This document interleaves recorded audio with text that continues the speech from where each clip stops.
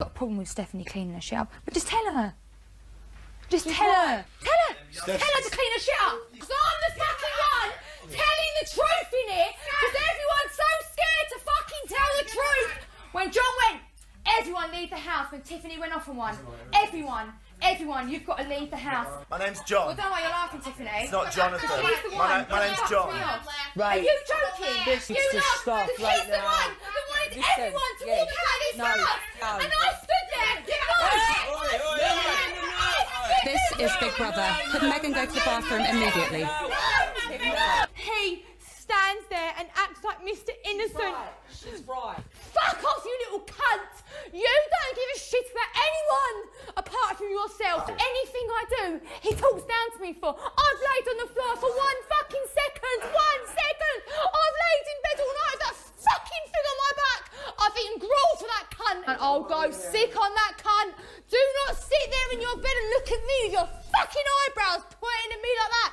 Do not sit there and look This at me is Big like Brother. that. when Would you Megan come to the dining room nasty immediately? Piece of shit. You horrible, horrible people. And you girls that are gang handed, you are such a bunch of cowards. I don't want trouble. Yes, you do, I Nicole. don't want trouble. You're I won't. causing all this. This Sit is down. Big You're in the middle of.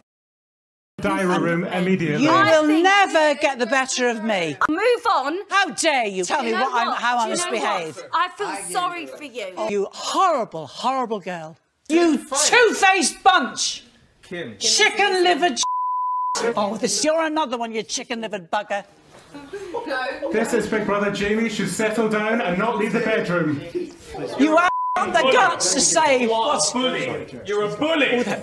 You come in here and you've picked on young girls. I've never known anyone like you. You're pathetic. What you are is honestly. And you're an adulterer I need to when you had, excuse me, I need to take and you're an adulterer that two times your wife and she's got three kids.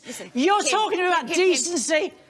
She hit me in my face. Like I have to leave because She I swung at my too face. claustrophobic. Ellie, you swung at my face. Deborah, Deborah, how did you go wrong? You have to get some respect.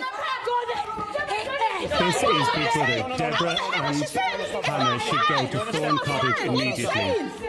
With security escort, Hannah and Deborah to Thorn Cottage immediately. Hannah and Deborah should remain in Thorn Cottage until further notice. You're a fucking, you two are fucking insane.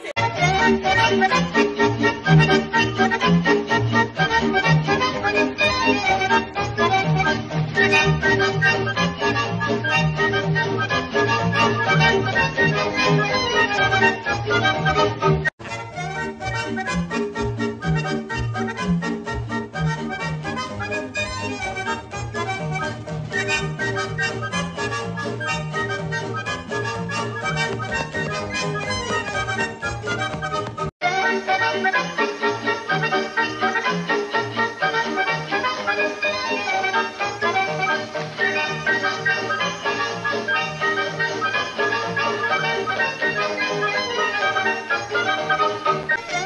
Thank you.